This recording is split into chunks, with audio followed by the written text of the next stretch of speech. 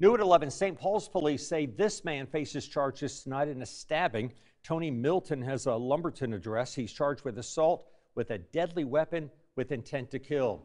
Police say that officers called about a stabbing on Saturday night found a wounded person on South 5th Street. No word tonight on that person's condition, but at last word, they were still in the hospital.